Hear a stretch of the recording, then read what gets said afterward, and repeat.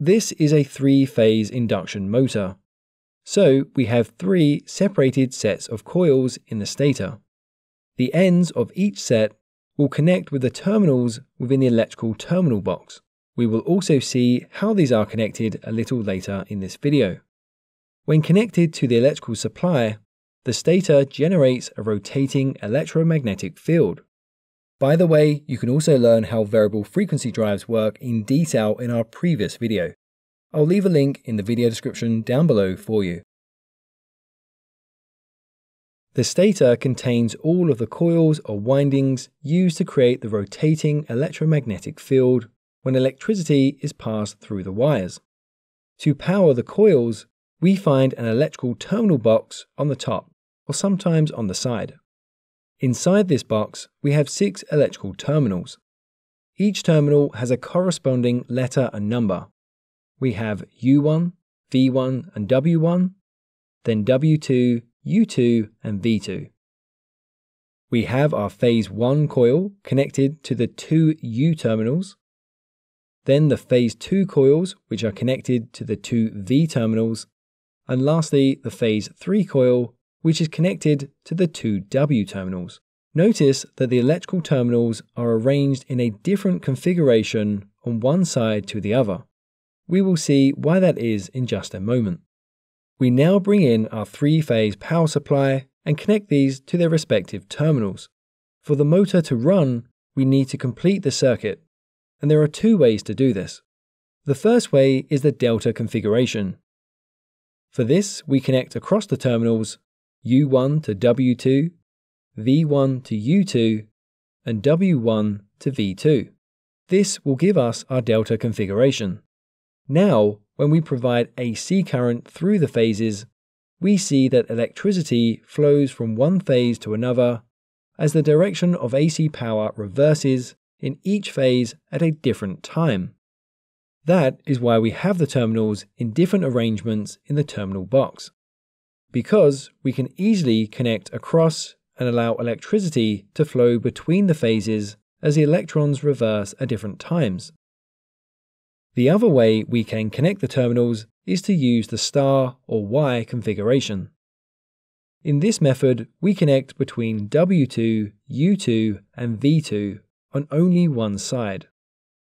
This will give us our star or Y equivalent connection. Now, when we pass electricity through the phases, we see the electrons are shared between the terminals of the phases. Due to their design differences, the amount of current flowing in the star and delta configuration is very different. Let's have a look at the difference between the star and delta configurations. Let's say we have the motor connected in delta, with a supply voltage of 400 volts. That means when we use a multimeter to measure the voltage between any two phases, we will get a reading of 400 volts. We call this our line to line voltage. Now, if we measure across the two ends of a coil, we again see the line to line voltage of 400 volts. Let's say each coil has a resistance, or impedance as this is alternating current, of 20 ohms. That means we will get a current reading on the coil of 20 amps. We can calculate that from 400 volts divided by 20 ohms, which is 20 amps. But the current in the line will be different. It will be 34.6 amps. We get that from 20 amps multiplied by the square root of 3, which is 34.6 amps. That's because each phase is connected to two coils. Now, if we look at the star or Y configuration, we again have a line-to-line voltage of 400 volts. We see that if we measure between any two phases. But with the star configuration, all our coils are connected together and meet at the star point or neutral point. It's from this point that we can run a neutral wire if needed. So this time, when we measure the voltage across the ends of any coil, we get a lower voltage of 230 volts. That's because the phase isn't directly connected to two coils, like in the delta configuration. One end of the coil is connected to a phase but the other is connected to a shared point. So the voltage is therefore shared. The voltage is less as one phase is always in reverse. We can calculate this by 400 volts divided by the square root of 3, which is 230 volts. As the voltage is less, the current will be 2. If this coil also has an impedance of 20 ohms, then 230 volts divided by 20 amps equals 11.5 amps. The line current will also therefore be the same at 11.5 amps.